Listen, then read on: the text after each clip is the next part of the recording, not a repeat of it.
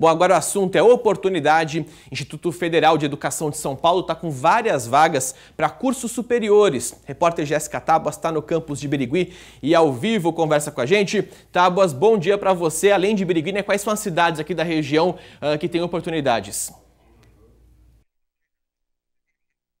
Oi, Casa Grande, bom dia para você, bom dia a todos que nos acompanham. Olha, cidades da nossa região que recebem as inscrições são Birigui, Catanduva, Votuporanga e também Presidente Epitácio. O Edmar, que é diretor do Instituto Federal aqui de Birigui, está ao meu lado e vai contar tudo certinho para a gente como é que funciona. Edmar, bom dia para você. Nesses campos, quantas vagas são oferecidas e quais os cursos? Bom dia. Nesses campos são oferecidas 600 vagas para os cursos de engenharia de computação, engenharia civil, engenharia elétrica, além de licenciaturas, como licenciatura em física, química, matemática. E os cursos de tecnologia, né? então mecatrônica, é, sistemas para internet e análise e desenvolvimento de sistemas. E para concorrer a uma dessas vagas, o que o candidato precisa fazer? O candidato precisa ter feito o Enem em 2017, é, não ter tirado zero na prova de redação e ter concluído o ensino médio. E é nessa inscrição pelo site que o candidato pode escolher até duas opções de curso também, né?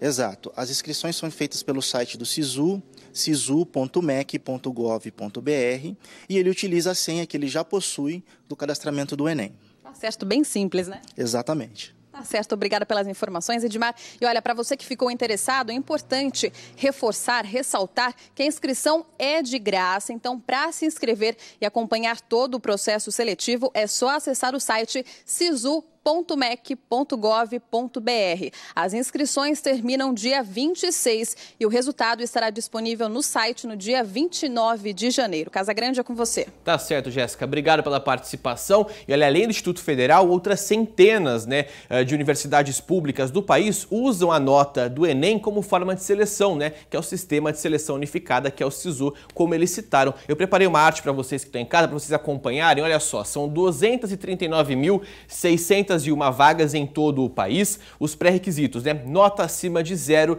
na redação do Enem, ou seja, não pode ter zerado, viu? Olha só, as inscrições que começaram hoje seguem até sexta-feira, ou seja, até às 11h59 de sexta-feira, mas não vai deixar para a última hora, então só para reforçar o site é o sisu.mec.gov.br, lá você tem todas as informações, consegue se inscrever não só aí com o Instituto Federal, como também outras muitas universidades aqui da nossa região, também de todo o país.